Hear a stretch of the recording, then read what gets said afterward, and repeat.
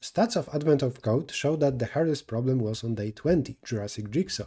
A lot of people dropped when compared to the previous day, a lot of people solved just an easier version of a problem to get a silver star. It was just a hard problem. I will show you my solution, the visualization of the algorithm, and we'll do code walkthrough. We are given multiple tiles of size 10 by 10, filled with dots and hashes, and we need to assemble them into one big grid. This is an example of 9 tiles correctly arranged into a 3 by 3 grid. Tiles are colored for clarity. Two tiles can be next to each other only if they match exactly on their border. Here, those two columns must be exactly the same. Hash hash, dot dot, hash hash, and so on. You can look here at any two adjacent tiles like those two or these two, and they will match exactly.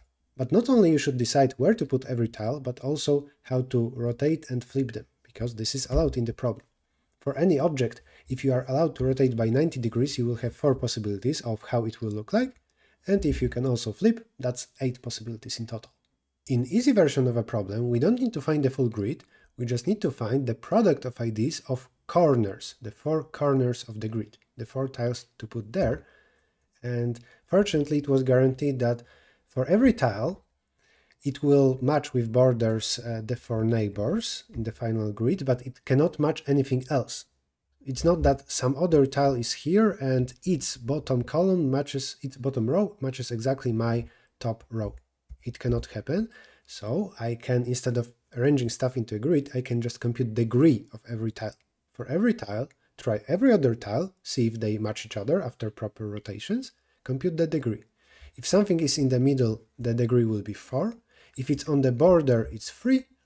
And finally, if something is in the corner, the degree is 2. On the left is some easy pseudocode for that. You just need to be able to rotate and flip tiles. Nothing interesting compared to the full problem. We will now use backtracking and if you don't know it, I recommend this easier problem N-Queens on LeetCode.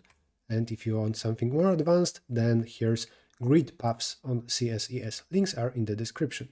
Even in this small example of just 9 tiles, there are 9 factorial ways to arrange them and also rotate and flip them. That's 8 for each of them, so 8 to 9th power, and this is already huge. And actually the test you download from the website, it has more than 100 tiles, not just 9, so this is really impossible to run. But after you put two tiles next to each other, you can already check if they match with borders, and if not, then don't try further. And this method of breaking whenever possible from, let's say, recursion is called backtracking. Let's see what happens here. I try every tile here and it's every rotation like one, maybe one like that. Then I try to put something here. I try every other tile as long as it matches with the border properly. Let's say ID3. Then I try something here, there, and so on. You can do it in any order. I did it row by row. You might say, okay, what's the new complexity? It's very hard to say. You almost never can give a proper small upper bound for complexity uh, with backtracking but when we run this, for the sample test of 9 tiles, we just get we just get 37 recursive calls, at least my code does, so it's just very low. And we can keep improving it with various heuristics, like saying after we put this 1 and 3, we can already kind of predict in the future what can be next to 1, what can be next to 3, and can they match each other with borders. But this is more advanced and we didn't really need that in this advent of code problem. Here's a quick visualization before we jump to code. The algorithm tries every possible top left corner, including different rotations, and then does the rest of the grid row by row. Eventually it finds the full grid, prints it, and we'll later see this visualization for the full test with more than 100 tiles. The code isn't that scary, it's around 100 lines. First we have boring stuff, rotate two-dimensional array of characters, uh, then flip, this is very easy like reversing a string, Let's hide this. I have a struct or class for a tile. We have helper functions whether two tiles can be next to each other or one above the other. Again, let's hide. The main function is search. This is a recursive function that does the backtracking. In, mail, in main, I read the input, also try all eight rotations and flips of a tile, and I gather them to some global vector. Yeah, this tiles, it contains 8 times n available tiles. n is the number of tiles in the input, and each of them has eight possible versions. But each of them has the same ID, so I will not try to use the first tile like this and then rotate it and then rotate it next to it because they have the same ID and this ID will already be taken. And after creating an empty set of visited or already used tiles, tile IDs, I run search, starting from 0, 0 and given this set.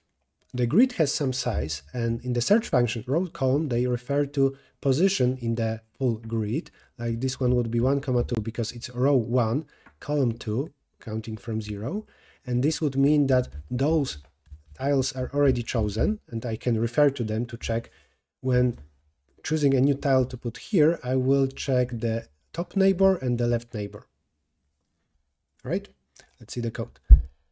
Uh, this we'll talk about later. For every tile, if this ID is not yet visited, then try to put it here. And I check this in the previous row, can you be above me? In the left column from me, can you be on the left from me? Uh, if yes, then continue and let's try. I mean, if there is not a possible match, then we continue and we try another tile.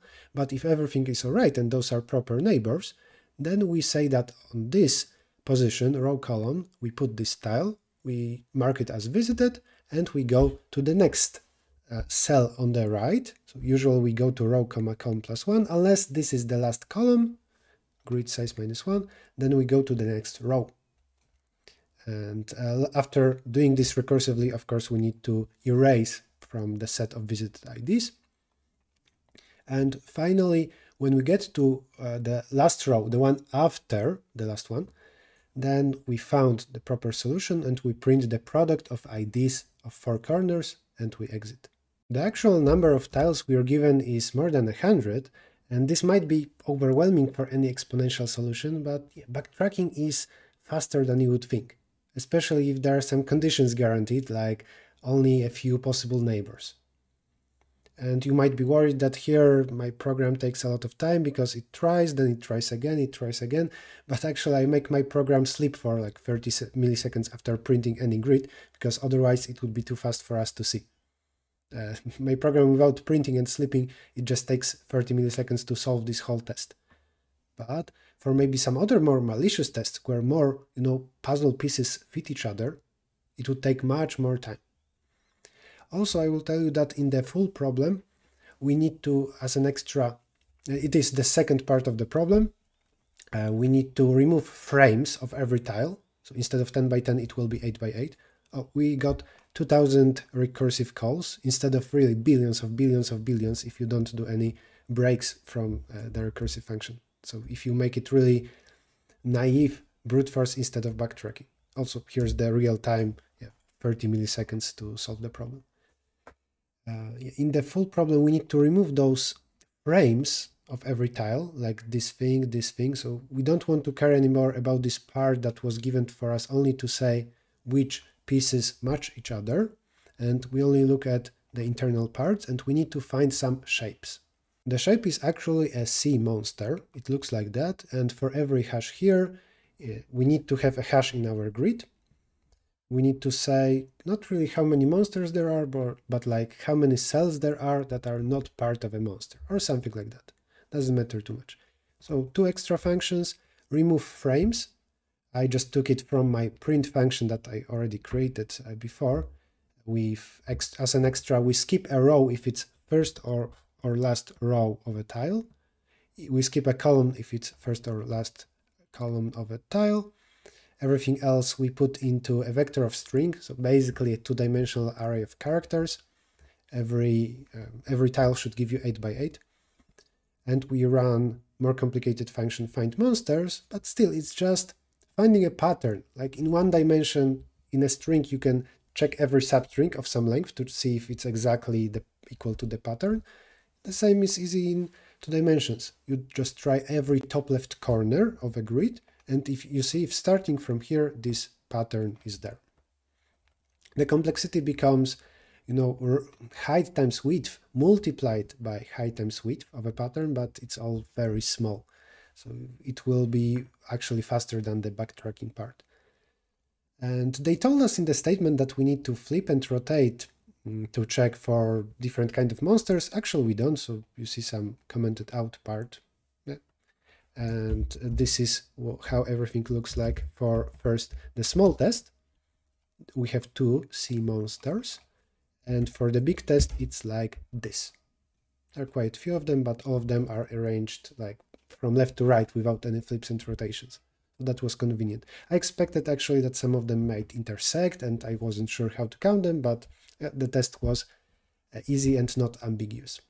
I don't know how to do complicated animations, but Phil Gold on YouTube can, so check out his video on more interesting animations. And I think that his solution is overcomplicated because he doesn't put stuff row by row, one by one, but it's just cool to look at. Check out that video, see all my codes in GitHub repository, link is in the description. Thank you all for watching. Tell me if you want any other problem, like maybe day 13, it was about Chinese remainder theorem. If you want, I can make a lecture or a video about that. All right, thanks for watching, bye bye.